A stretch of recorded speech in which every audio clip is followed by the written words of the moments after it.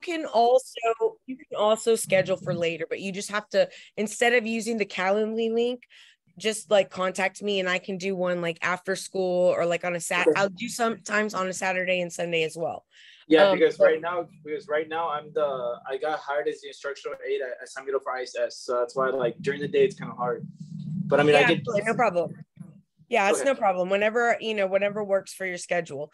But to, but between now and then, if you could for for sure print out this document here. Now, these are your standards.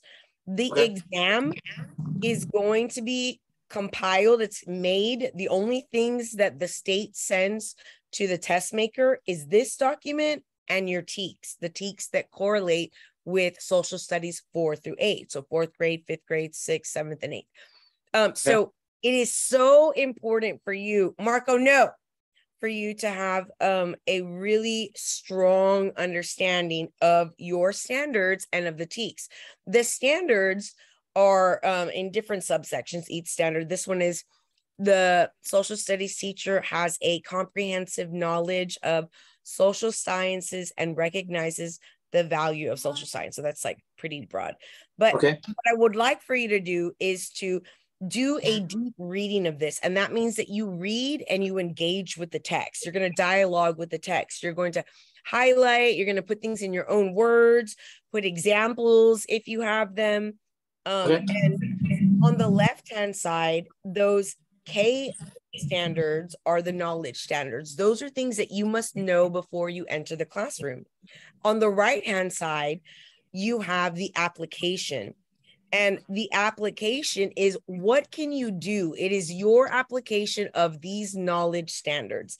And, and by and large, the correct answer on the exam is going to come from this right hand column, that application column. Marco, no, Sorry. It's, it's fine. he's like less than a year old, so he's yeah. I I I have uh I have like seven dogs, so I understand. Oh my yeah, goodness, we have two, and one is really old, and one's a puppy. So the old one's just chilling there, and the other one's like yeah, the other one's very hyper. yeah, absolutely. So when you go through these, and you'll see here, for instance, this one, standard three, says the social studies teacher uses knowledge and skills of social studies as defined by the Texas Essential Knowledge and Skills, the TEKS. That's the other document. So it is your standards along with the social studies TEKS that the exam is created from. And so we'll go to um here science, we'll go here and we're gonna where, go. Where can, I, where can I print those documents on? Uh, I'm gonna send you this. Um, girls, can you let the dog out, please? Let Mar- only Marco. Okay. Yeah, because like what, what I was doing was the 240 tutoring, but what happened was when I was studying 240 tutoring and I did the test, like there wasn't a lot like they, that I could correlate in a sense. There was like a couple things. Right. So yeah, like I have that book, the mm-hmm. the yellow one, the TExES Secrets. I have that one, but I wasn't really using it because they had told me the 240 was was fine. Right. And so yeah. let me tell you about this Mometrix document. It is good mm-hmm. in the sense that it has like think of it being Google a Google search for social studies, the mm-hmm. like your TEKS, your concepts, or whatever. And so what you the way that you use this document is to go through the standards read through them whatever you don't understand or whatever is like whatever you could not in conversation discuss hold on i'm gonna have to let him out myself marco no worries it's okay okay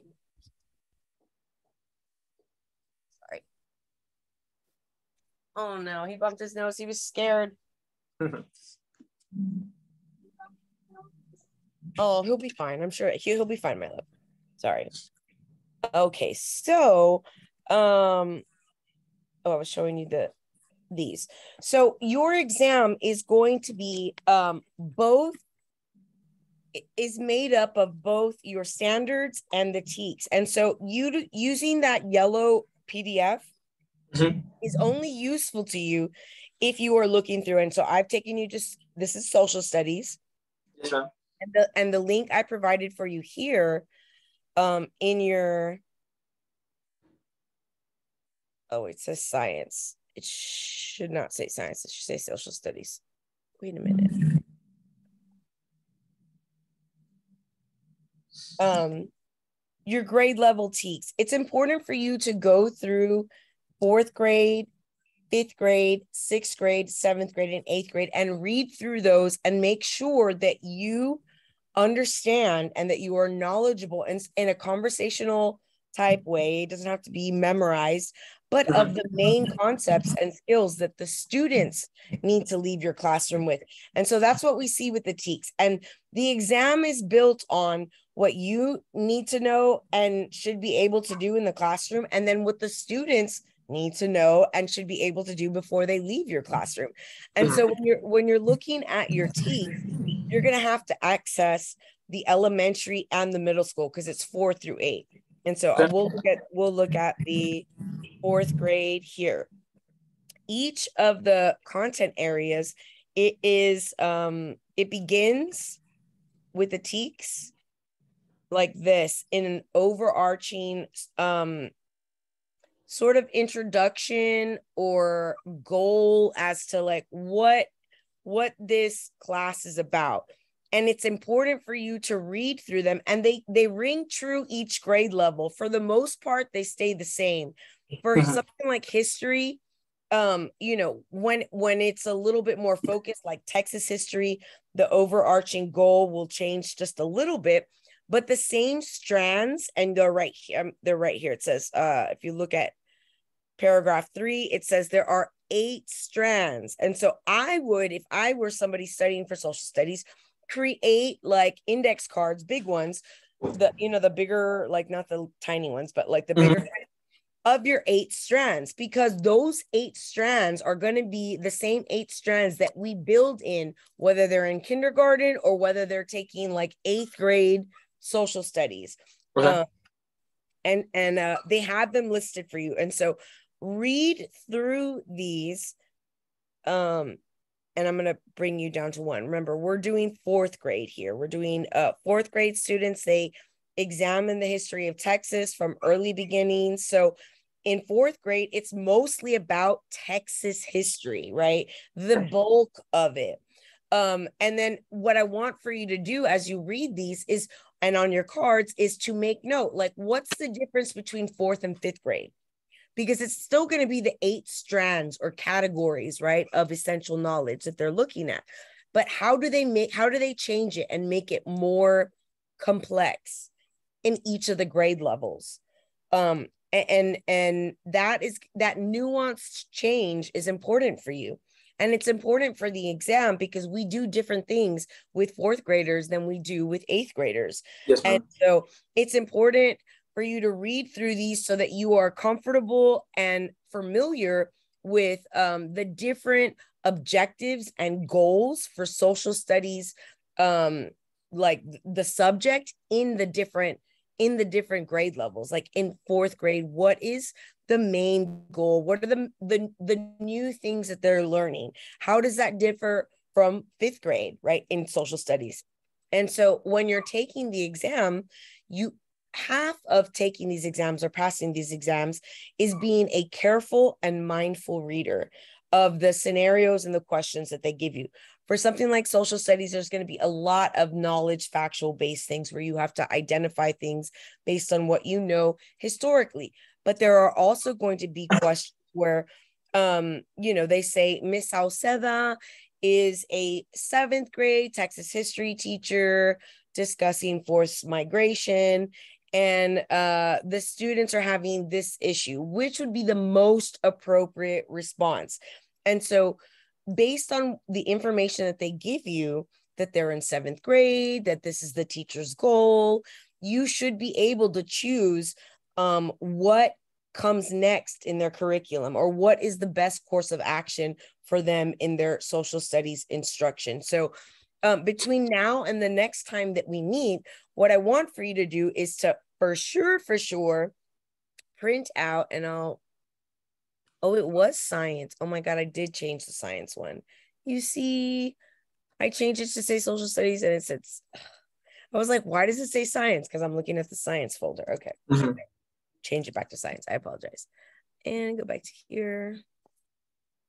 Um, so your standards, I'm gonna want you to print those out.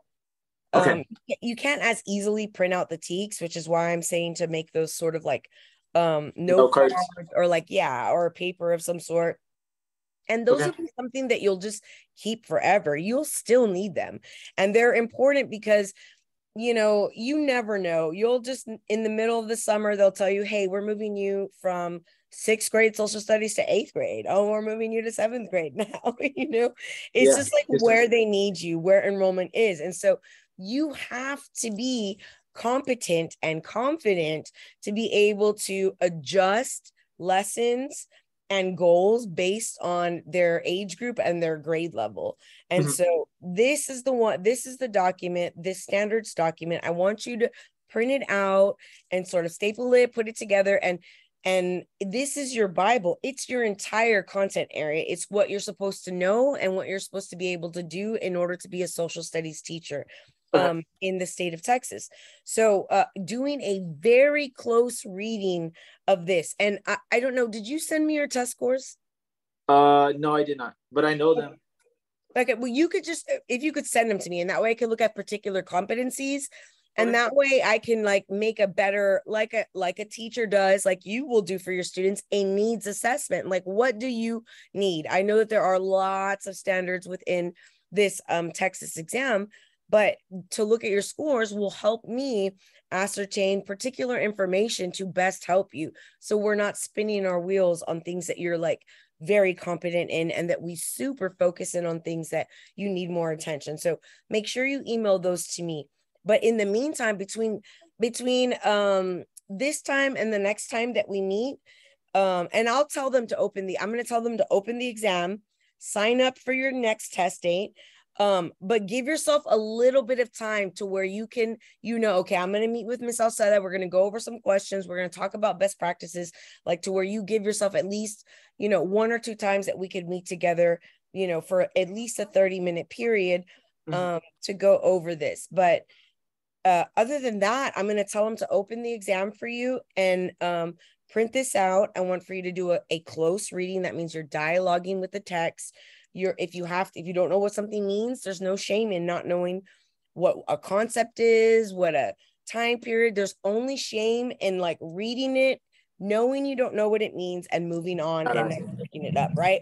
So like I, I have a master's degree in english and a master's degree in communication and there are still lots and lots of things that i do yes, yes, yeah, crazy. I, I, i'm actually doing my master's in communications right now Oh, that's excellent. Congratulations. Yes. That's really yes. that's fantastic. That was my second master. So like that's wonderful. I, I I really enjoyed both of them. But my point is is that you never know everything. And anytime yeah. I see like a word that I don't know what it means, I'm like right away Googling it. And if I don't have access to Google, it's like an itch I can't scratch. So mm-hmm. like I need to know and and do that with this document. If you can't turn to a friend or like your sister or brother and just like in in a communication talk about uh, related geographic information and ideas to information ideas and other social sciences and other disciplines. If you don't know like what that means and you couldn't explain like oh well this is talking about like geographically how does where you are born matter? Like does it give you an advantage? Does it give you a health advantage? Does it give you a economic advantage does it give you an education advantage? You know, I would say yes, there are many, you know, and, mm-hmm. and so looking at that and the fact that I can explain it to you means I have some knowledge in it. And so if you go through these and you see like, okay, I, I couldn't explain this to someone, let me just Google this really quickly. And or if Google doesn't work, use the that yellow booklet. Remember that PDF that it's yes, not super, super good as far as like test questions, but it's got so much content already solidified, everything for social studies. So, mm-hmm. and if that doesn't work, uh, email or text Miss Sauceda, and then I will figure it out for you. Yes, ma'am. Okay. So, uh, you do you have access to this already, or you don't? I don't have that document, but if you could email it to me, I'll print it out. Yes, I'm gonna I'm gonna email you the entire folder, and it's one of the the one of those in the folder. Okay. Along with the T. Okay. So we'll start there and and we'll move on to the other documents later. Okay, sounds good. Okay. And Sundays are best for me. It's like if you want to do a weekend, like Sundays are, are like open for me.